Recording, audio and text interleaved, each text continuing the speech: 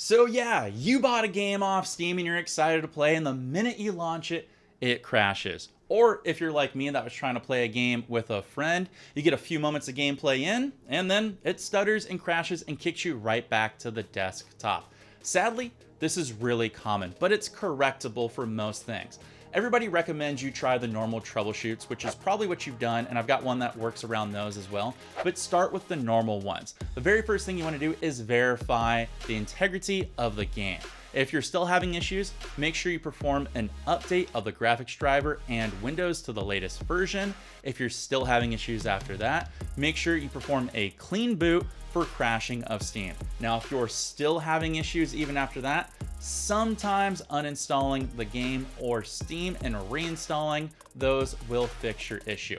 But you've probably tried all of these and you're still not having any luck with your game, which is what happened to me. So the solution I found was actually from a German blog that I was able, luckily, to translate into English. And this is the safe workaround they gave me. And you know what? It worked. I don't know why it works. I know you don't care. It just worked. And here's what you do. On your desktop, press the Windows plus R key combination to bring up the run window. Type in System Properties Advanced, just like you see here on screen press OK. Next, click on Environmental Variables, which is under the Advanced tab. Click at the bottom, System Variables, then New. Under the new System Variable window, type in where the variable name is open SSL underscore IA32 cap. Where the variable value is, make sure you type in whatever the squiggly line is called, 0, x, 2, and then seven zeros in a row make sure you type verbatim what you see on the screen here, including all the capitalizations, lowercase, and numbers, okay? Now click OK to close the window. Before relaunching your game, you actually want to restart your PC completely, okay?